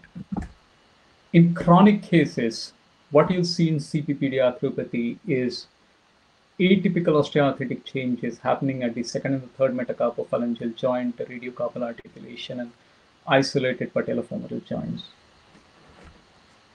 So we'll look at some examples of uh, chondrocalcinosis and, and arthritis caused by CPPD. So in our regular practice, we'll see lots of examples of chondrocalcinosis. You can see calcification outlining the shape of the meniscus here. We've got calcification in the region of the triangular fibrocartilage in the second example. And most commonly, these cases are asymptomatic. So this is just an incidental finding and the patient won't necessarily have any symptoms, but sometimes they can present with painful swollen joints. This is a case of long-standing CPPD. So what I would like to point out here is osteoarthritic changes at the metacarpophalangeal joints of the second and the third fingers. And if you look closely, there is soft tissue calcification medial to the middle metacarpophalangeal joint. if you look at the base of the thumb, that's where I would expect the first osteoarthritic changes. We're not seeing any osteoarthritic changes there at the carpometacarpal joint of the thumb. So what I've got here are atypical site of osteoarthritic changes. Those are the second and the third metacarpophalangeal joint. But those sites are very typical to get involved with CP degenerative changes caused by CPPD arthropathy. So we've picked up calcification here, but if you look closely, you've got calcification in the region of the chondrocalcinosis here. So putting everything together, putting chondrocalcinosis, involvement of the second and third metacarpophalangeal joint with osteoarthritic changes, with hook-like osteophytes, without involvement of the joint or the base of the thumb, you know you're dealing with CPPD arthropathy. So if this particular patient comes with painful sole and wrist of the joint, you know you're dealing with CPPD. We are asked to do ultrasounds in these cases and aspiration to send for crystals. Uh, this another presentation of CPPD arthropathy, that is a SLAC wrist. So SLAC stands for scapholunate advanced collapse of the wrist. The commonest cause is trauma, where the scapholunate ligament gets disrupted and the scaphoid and the lunate rotate in different directions. And you'll have proximal migration of the capitate and, uh, and degenerative changes at the radioscaphoid joint. But the second commonest cause after trauma is CPPD arthropathy. So if there is no history of trauma, and if you see severe degenerative changes in the radioscaphoid compartment, so that's a very specific joint, the radioscaphoid joint, without involvement. So if you look at the STT joint, that's the scaphotrapezium trapezoid joint, that's preserved. So there are no osteoarthritic changes, nor are there any osteoarthritic changes at the carpometacarpal joint of the thumb. So that's very unusual these are the first signs where you should see osteoarthritic changes because of normal wear and tear. But instead, what you're seeing are severe osteoarthritic changes in the radiocarpal compartment or uh, radioscaphoid compartment, along with presence of large geodes. You won't normally see those those large geodes with simple osteoarthritic changes. You should think of CPPD arthropathy. In this case, we are not seeing chondrocalcinosis, but if it has seen chondrocalcinosis here and degenerative changes in these joints, uh, we would have definitely confirmed involvement by CPPD arthropathy. This brings us to a CT scan of CPPD arthropathy and what are the features? You can see erosions of the end plates. You can see calcification around the dens. That's not an uncommon finding in an a, in a CT scan of an elderly patient, calcification around the dens. Most of the times it's incidental, but if the calcification is large, it can cause what we call as a crowned dens syndrome. Basically, it compromises the spinal canal at that level. So it's caused by the calcification due to CPPD. You can get erosions of the end plates. And again, keenite amongst you might have noticed the chondrocalcinosis happening in the intervertebral disc. Hydroxyapatite crystal deposition. It's not exactly crystal. It's not exactly an arthritis. It's more of a periarthritis because the calcification doesn't happen in the joint. It happens in the soft tissues, which could be around the joint, the commonest place is the rotator cuff. So this is an X-ray of a patient who presented with acutely painful left shoulder. When an X-ray was done, it showed a large focus of calcification in the region of the rotator cuff. Now that location is typical for supraspinatus tendon. So we've got calcification within the supraspinatus tendon.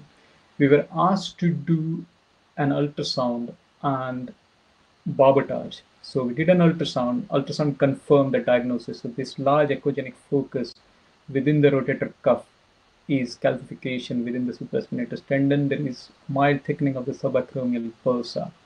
So we normally don't stop at just diagnosing it on ultrasound because it's anyway seen on X-ray. We do what we call as a dry needling or barbotage. We can see the needle going into the calcification. So we needle that calcification under ultrasound guidance and we try to aspirate the center of the calcification is generally soft and the patient does respond quite well to this procedure. Also, while coming out after this dry needling, we put in some steroid into the subacromial space so the combination of dry needling aspiration and steroid injection does help the patient and the results are, are quite good. This was a case we did about six, seven years back where the patient presented with swelling on the dorsum of the foot, X-ray revealed calcification, ultrasound confirmed it was in the EHL tendon. We did a dry needling, the patient responded well. We can have calcification in the region of the gluteal tendons. Patient may or may not is symptomatic. Again, one thing I should stress here is all these calcifications can be completely asymptomatic and the patient may not have any symptoms. You don't need to do anything about it if the patient is not symptomatic and are just incidental. You don't intervene only if those calcifications are causing symptoms. Hemochromatosis, it's iron overload disorder. Radiographic features are pretty similar to CPPD. Involvement of the second, third metacarpophalangeal joints, hook-like osteophytes. You can see X-ray of the right hand of a patient with hemochromatosis, involvement of the second and the third metacarpophalangeal joints. And if you map the image, what you're seeing is those osteophytes are more hook-like. So hook-like osteophytes at the second and the third metacarpophalangeal joints with degenerative changes. You could you're thinking of CPPD or hemochromatosis. In this case, luckily we had an old CT scan of the patient. So this is an unenhanced CT scan. And you would have noticed that the liver, normally on an unenhanced CT scan, because of its higher fatty content, sh should be darker than the spleen, while in this case, that relation has been reversed, and you can see that the liver looks much brighter. This patient had raised serum ferritin levels. Right. So that brings us nearly to the end of this talk, uh, but we'll try to recap a few things what we have learned. So inflammatory arthropathies, if we've got signs of inflammation in, around one single joint, you should think of infection, but as I've mentioned, you should also consider reactive arthritis because it can involve single joint, but common things are common, infection is more common. If it's involving more than one joint, and if the involvement is more proximal, like radiocarpal compartment, carpals, carpometacarpal joints, or the metacarpophalangeal joint without new bone formation, think rheumatoid arthritis. If the involvement is more distal, uh, like the interphalangeal joints, you should think of psoriasis or arthritis, and psoriasis tends to involve the distal interphalangeal joints first, and right, right as a reactive tends to involve the proximal interphalangeal joint first. Degeneration or osteoarthritic changes could be typical, but you could get atypical osteoarthritic changes as well. And the commonest cause for atypical osteoarthritic changes is previous trauma. But without history of trauma, if there is unusual distribution, like involvement of the second and the third metacarpophalangeal joints, involvement of the patellofemoral joint without involving the medial uh, tibiofemoral joint of the knee, you should think of CPPD, you should think of hemochromatosis. Also, if you're seeing uniform loss of joint space, particularly in the knees or the hips or the intercarpal compartments, you should think of old rheumatoid arthritis. This another representation I've tried to put in to consolidate our uh, concepts, particularly with regards to involvement of the joints or the site of involvement of the joints. So typical osteoarthritic changes happen at the base of the thumb or at the cup at the STT joint. It could involve the distal interphalangeal joints. Rheumatoid arthritis tends to involve the metacarpophalangeal joints first. You can have involvement of the carpal or the carpometacarpal joint or the uh, radiocarpal compartment. Psoriasis tends to involve the interphalangeal joints. I think it's, it's an error. It can involve metacarpophalangeal joint, but commonly tends to involve the distal interphalangeal joints. CPPD, second and third metacarpophalangeal joints, like hemochromatosis, it can can see chondrocalcinosis and patient presenting with swollen wrist. Similarly, acute gout as well, the patient can present with swollen wrist. But remember, the commonest joint involved by erosions caused by gouty tophi are the metatarsophalangeal joint of the great toe. Thank you for your attention. Uh, I'll now pass it on to Prashant for any questions. Yes, Pankaj, thanks for the fine uh, lecture, uh, giving details and differences between various sites involvement in various arthropathies. I think if there are some questions, we will take on.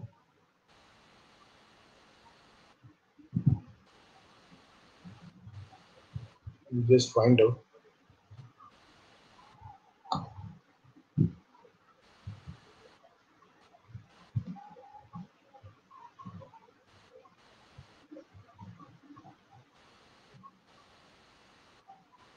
Uh, Pankaj, how often you do ultrasound uh, for the early erosions in the arthropathies, We especially fingers? yeah, commonly we don't get to ask to do ultrasound for looking for erosions. Rather, patients Hmm. coming with swollen joints, particularly of the hands, Hmm. they do get they obviously they see the rheumatologist the, the first thing the rheumatologist would do are bloods to look for inflammatory markers like crp along with x-rays of the hands and the feet. If the x-rays do not show any erosions we are asked to do ultrasound to look for synovitis or joint effusion or vascularity within the synovitis. And in those cases some of those cases we may pick up early erosions. Uh, but rather than erosions, we are asked to do ultrasound to look for effusion or synovitis when uh, there are no features on X-rays. Uh, but it's quite common, Prashant, because early in the Okay. disease, the patient presents early, uh, X-rays would be normal. So it's quite common for the rheumatologist to, to ask for doing ultrasounds of the fingers and the toes. Yeah, uh, there is a question.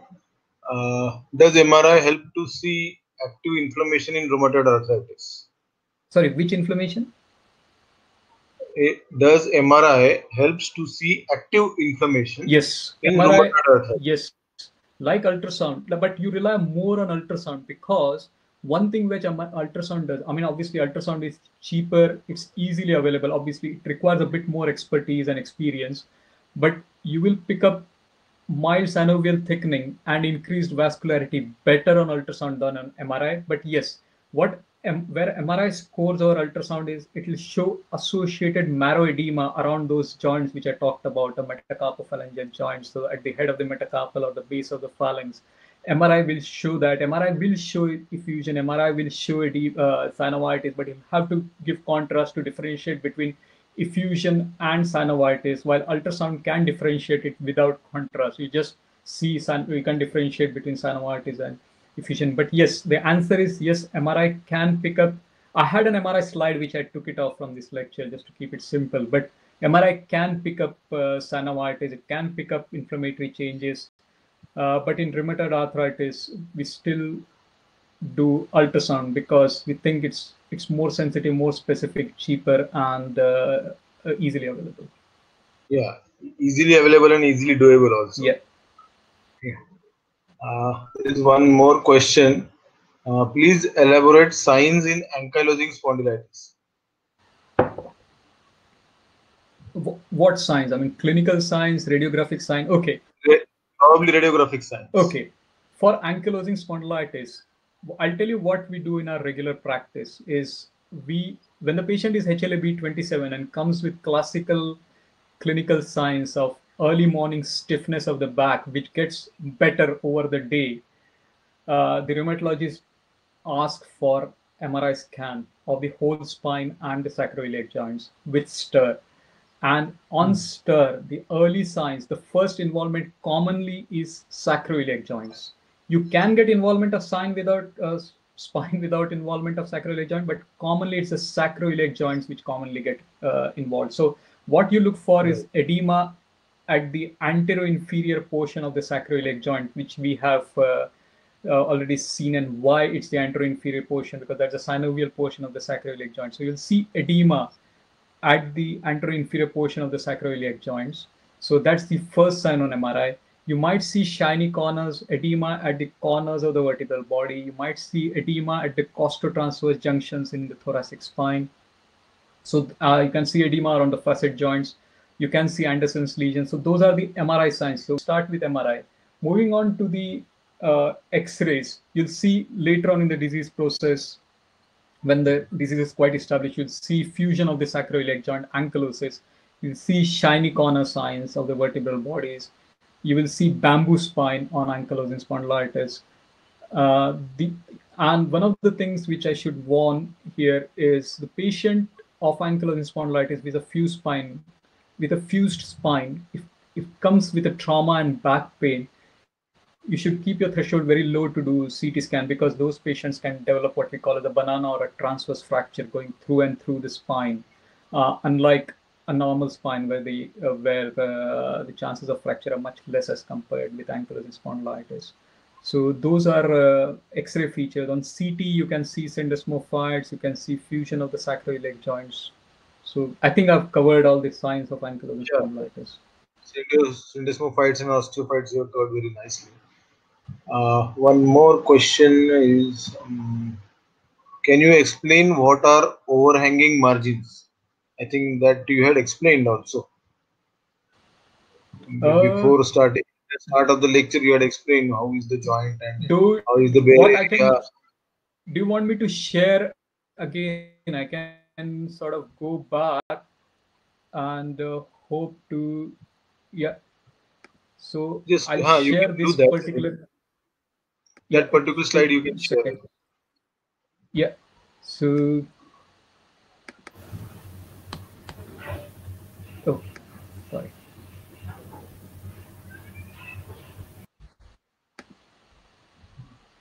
Can you see that image now, Prashant? Yes. Yeah. So this is a classical erosion at a classical sign. So can you see that margin basically going above the level of that erosion? So that is an overhanging margin. If that margin would have been coming, you could have had margin coming from the top as well, like hanging margin here. Rather than mm. stopping here, that margin is hanging. Similarly here, rather yeah. than stopping here, the bony margin is going beyond the lucency. So that's overhanging margin.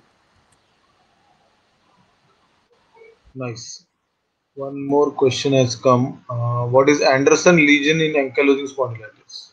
Andersson lesions are the erosions at the end plates. Now, don't confuse it with the Andersson's lesions in TB, which we learned uh, uh, during our uh, undergraduate so those are erosions of the end plates you'll see in ankylosing spondylitis. The end, generally the intervertebral disc spaces are normal, so you shouldn't confuse it with spondylodiscitis. Also, normally you would have other features of ankylosing spondylitis like sacroiliac joints, uh, sacroiliitis.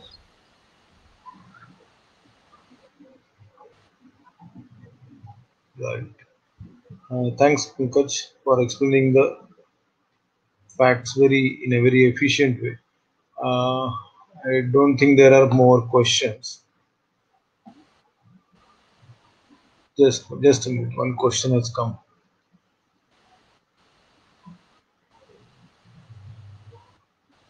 Uh, can CT be uh, better than MRI in assessment of asymmetric inflammatory sacroiliac arthritis? Hmm, that's a that's a good question. That's a very good question. Yeah. Uh, I won't say better. We still the rheumatology protocol says still do MRI scan, but at times uh, you can get edema. So edema around the sacroiliac joint doesn't always mean inflammatory arthritis. You can get edema around the sacroiliac joint just because of stress.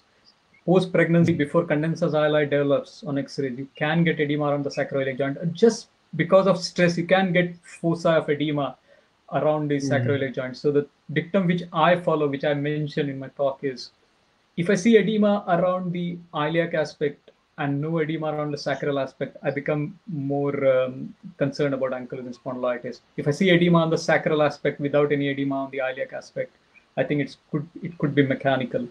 But what I rely on in doubtful cases where there is edema and I'm not sure because CT has got a better spatial resolution than MRI. I would do a CT scan to look at the margins carefully. If you see erosions, you know you are dealing with uh, sacroiliitis. You shouldn't get erosions in any other condition like ankylosing spondylitis. You shouldn't get erosions in mechanical stress changes in the sacroiliac joint. So yes, CT does have role as a problem-solving tool. So if you're not a tool, so if you're not sure, do CT and look for irregularity or erosion of the sacroiliac joint. Get your eyes tuned to reporting normal CTs. When you look CT of abdomen and pelvis, just get your eyes tuned to how a normal sacroiliac joint look like. The margins are very smooth.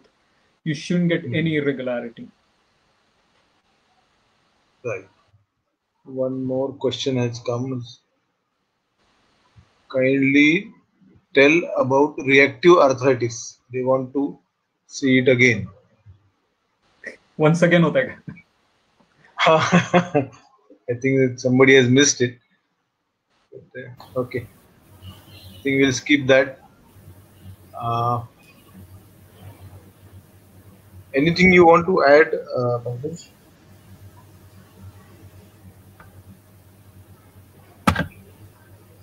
Add to reactive or what? Yeah. No, no, in general general uh, Uh, related how, to how a student or how a young radiologist should uh, train himself, his eyes basically, yeah that's in a seeing that's the, good, uh, in the early things good or the that's a, smaller things. yeah that's a good question. When you're reporting let's say x-rays of the hands normally we're not talking about uh, cases of suspected rheumatoid arthritis. Just get your eyes tuned to how normal ulnar styloid or how normal metacarpophalangeal joints like the metacarpal heads, the cortices of the metacarpal heads, the white lines or the cortices of the base of the phalanges look like. Get your eyes tuned to how a normal thing looks like, and then it becomes easier to pick up abnormality. But it helps Right. us a lot because when it comes from the rheumatologist, we know we are looking for erosion. So it helps what the clinical information has been provided. I won't look, be looking for erosions uh, in cases of, uh, let's say, someone who's come with trauma of hand only unless Right. those erosions are large erosions which which are very obvious. Uh, so but yeah get your eyes tuned to reporting lots and lots of plain films x-rays um, of hands of feet. So when uh, even sacroiliac joints on x-rays. So once you get used to try looking at the normal patterns of osteoarthritic changes in the hips in the knees in the hands. So once you get tuned to what normal looks like uh, it'll be easy to uh, easy to pick up abnormalities. I always say that uh, say to my registrars that you should get tuned to looking at normals and be confident with what are the normal appearances on X-rays or even MR, CT, ultrasounds. Right. I think getting uh, uh, perfect to the normal will uh, will definitely have confidence in finding out the still the early abnormalities. That is true in conventional or any other imaging modality. But uh, that way we should proceed. Yeah. Uh, I think we will now uh, wind up today's session. I thank uh, Dr. Mitra sir and uh, Pankaj especially for taking time uh, Prashant, and Prashant, there was beautiful. Yeah, yeah. Prashant, there was one question which I wanted to ask Mitra sir, but looks like sir has left. No, no, sir is there probably. I'll just see. Hello, uh, sir, you are Ah, there? I'm there. Yeah, he's there. He was quietly listening. I, I, Sir, had- was I was a- fortunate to listen to Pankaj for so long today, and Oh, sir, And- that's that was a treat, in fact. Uh, Yeah. It was all my pleasure. But sir, uh, we have, we have grown up uh, listening to you and learning from you, and it was again, as you say, I mean, it was a treat listening to you to basically to the fundamentals and concepts. One of the things, sir, about osteoporosis, which uh, I, I did text Prashant, would, which I would, if you don't mind, I'll just add was um, recent few years back we did an audit about osteoporotic incidental osteoporotic fractures on CT. So we pick up those osteoporotic fractures on uh, on elderly patients who get C- done uh, who get CTs for different reasons like abdominal pain or uh, weight loss or even malignancies, follow-up malignancies. So unrelated incidental fractures which we picked up on CT, which we pick up on CT. What we are doing regularly now in last few years time, uh, time is uh, we do mention it in the report, even in the conclusion, and tell the clinician to get a DEXA scan done uh, to check if the patient is osteoporotic and treat the patient accordingly because that is one good opportunity we have got uh, before the patient develops neck of femur fracture or Colles fracture. So if these if these fractures are not reported, if we don't, and if these patients don't get treated for osteoporosis, even with a trivial fall, they can get Colles fracture or they can get neck of femur fracture. And neck of femur fracture has got a high morbidity. Like uh, in UK, we ha- they have to uh, treat that within 48 hours time because these patients can undergo complications because of immo- immobilization, particularly pulmonary embolism, and uh, even the mortality is high. So if you pick up a fracture on a CT scan, incidental osteoporotic fracture of these vertebral body, and if these patients get DEXA scan, proven osteoporotic, get treated, the chances of developing neck of femur fracture and Colles fracture are less. So we are giv- giving them a better quality of life. That's a very good point, Pankaj. You have really pointed out. Uh, I would like to share. I would like to know uh, what what what studies are what what are the cases that you have done, and what kinds of all fractures that you have seen, uh, which uh, you have uh, suspected and reported. Yeah. Uh, that's uh, got an audit. I'll, I'll yeah, I'll send that audit to you. yeah, yeah. Uh, really, that's a very good point. And as you said correctly, the fracture neck femur especially has a high morbidity and mortality. Mortality because of other we're causes. getting a chance. Yeah, we are getting that opportunity to Opportunity to yeah to pick up osteoporosis early and Early. treat them so that yeah so that the chances not that they can't get neck of femur fracture but the chances become less other thing is uh, with these patients we treat with uh, bisphosphonates uh, these osteoporotic patients. And there is a complication of bisphosphonate therapy long term bisphosphonate therapy. So you mentioned about the Looser zone. There's something called as atypical fractures. Uh, these fractures are that's the name of those fractures. Like Colles fracture those fractures are called as atypical fractures. So Mm. those fractures unlike the Looser zone which happen on the medial aspect they happen on the lateral aspect of the femur. And paradoxically these fractures happen after long-term treatment by bisphosphonates which is actually used to treat osteoporosis osteoporosis. so what they do is probably do something called as a holiday bis- uh, treatment holiday or something. This is what the orthopedician calls. So they give some breaks in between. But one should be aware of those when you're treating patients for bisphosphonates. One should be aware of those atypical fractures, which are not uncommon. Right. Uh, sir, there is a question for you. Uh, how how to identify neck femur fracture? Because sometimes it is very difficult to pick up on a X-ray. Can you give some clues to identify? On X-ray. Ah, X-ray. Neck femur Again, fracture. as Pankaj said correctly, uh, this is uh, this question is from I believe a resident or a, a junior. Mostly, mostly. Yeah. So I advise all my students, as Pankaj was uh, referring to, you should see more and more uh, normal X-rays, or as many X-rays as possible, so that you uh, become conversant with the normality, how the normal looks like, and that is true with uh, all imaging modalities. I would say, not only X-ray. You see, hundred uh, CT scan, normal CT scans, and the hundred and first CT scan which comes abnormal to you, you will be able to pick up. So don't Right. don't miss that opportunity. Uh, uh, other than that, I mean, if we talk of other modality, obviously uh, nowadays MR and CT they are better modalities to pick up fractures. But fracture neck femur can be picked up on uh, plain X-ray also nicely. If you look at the margins carefully and trace the lower margin of the neck and upper margin of the neck and look at the trabeculae, you will be able to pick up. Yeah. That's Can I- exactly the next, question is coming, sir. Any particular sequence to see the bone X-ray? Somebody wants to know. That's a very general, Wants to know. general yeah. I think. Yeah, yeah. Very, Right. very. Pankaj, you were adding to something. Yeah, uh, I mean, I can't agree with Sir more. I mean, it was so wonderfully put that you're, you should get your eyes tuned to how normal look like.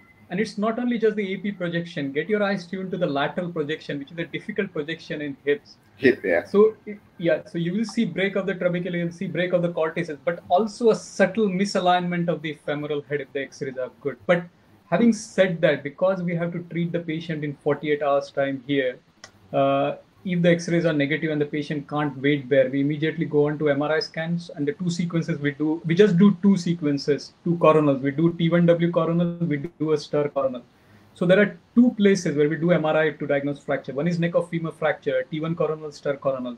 And we do, uh, if the x-rays are negative and even if the second x-rays in scaphoid fracture are negative, we do a STIR and a T1 coronal for scaphoid fractures. Yeah. Particular sequence of seeing the X-ray. So obviously, yeah, no, no, I got that. I got that. That's what. as we say in X-ray chest, somebody comes from inside Yeah. outwards, some someone goes from outside inwards. So here All right, okay. can go from outside inwards or in, inside outwards. So look for if I want to go from outside, I will look for soft tissues, the skin margins. Even people have picked up neurofibromatosis on the skin lesions on the X-ray chest, on the X-ray. So go from skin down, look for uh, muscular planes, intermuscular planes. Intermuscular planes are very important. Uh, These are uh, thin lines which are placed in between the uh, muscular, uh, in, in between the muscles, and they, they can either be displaced or they can either be destroyed. They can either be not seen on X-ray or they can be displaced. If they are not seen, we usually tend to think in terms of inflammation or infection, and if they are displaced, we tend to think in terms of malignancy or neoplasm. So go uh, go for that intramuscular planes, and then go to obviously the bone itself, that is periosteum, the cortex, the endosteum, and obviously if at the end the spongy bone or the or the marrow. So this will be the sequence, or you can come from ins- inside out, whatever you prefer. Right. I think everybody has to uh, prepare his own uh, way of uh, seeing them. Yes. But he should come complete the circle. That means he should see, try to see everything that needs to be reported. On, uh, And on again, emphasizing the corners of the X-ray. yes, yes, always the examiners are very fond of. So look at all the corners of the X-ray. Right. And one more thing which I uh, would uh, suggest here, uh, a, a pitfall that I have seen in many many cases. Uh, that pitfall is uh, satisfaction search pitfall, or search of satisfaction. So that pitfall is if you see one lesion, our mind tends to not think of other lesions and not see other parts very carefully. So if you see one lesion, you just keep that aside. If a lesion is very obvious, if you if you keep that aside and look for other lesions, the other parts of the image that you have been given, either CT, MR, or X or X-ray. So don't have don't be satisfied with finding one lesion. You see every part of the image that is given to you, and then you can again come back to the main lesion and then describe it. So that that is a pitfall which I would like to caution the residents about. Right, sir. Yeah, uh, now no more questions coming. Uh, I think we'll stop here today. Thank you, both of you, for Thanks, uh, this beautiful uh, presentation. And hope we see you, Pankaj, in Nagpur soon. Yeah. Maybe Me as around. Diwali. Yeah. After all lockdowns, after all yeah, yeah. Everybody is out of the locks. locks. May, maybe. Yeah. yeah. Thank you, sir. Thanks. Thank you, all the Thank you, participants. Thank you. Okay. Bye bye. Yeah. Bye.